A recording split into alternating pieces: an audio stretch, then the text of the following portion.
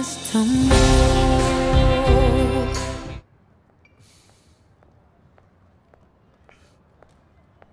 Hey, you!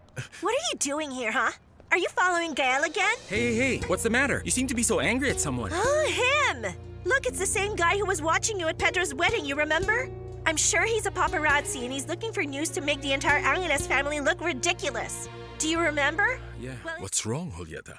Because there's no news, either good or bad, about my daughter. Yes, I get that, but didn't Santino hire somebody to investigate about your daughter in Italy? He did. But now he says he didn't find anything, that there was nothing about my daughter. When Pedro comes back, you have to end everything you left hanging. What are you trying to say? That you're gonna marry him by hook or by crook, no matter how confused he is. Come on, Dad. The only thing I want is revenge for everything that Pedro made me go through. Besides, I don't get how you can even believe his pathetic story of being confused. Dad, the Italian girl is with Pedro. I'm sure they're together now. Listen to me. I don't care if he's with an Italian, a Nigerian, or a Russian girl. You are going to forgive him and marry the man. Understood?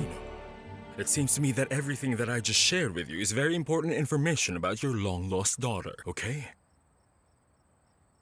But how did you find out all this, Sergio? But what? That doesn't matter. That's the least of your concerns now.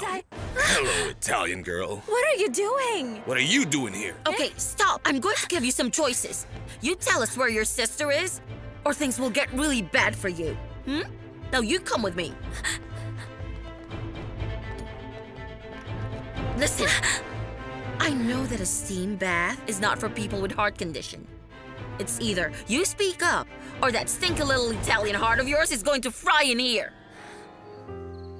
Fiorella.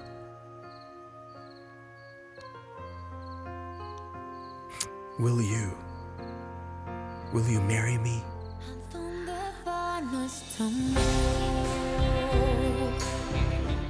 I wanted to feel that this charm are my arms embracing you and protecting you from everything Yes, and everyone the whole time. yes. Please know that I'm always with you, Fiorella. That this heart is my heart that beats for you. Yes. Yes. I love you. And I love you. I love you, Pietro.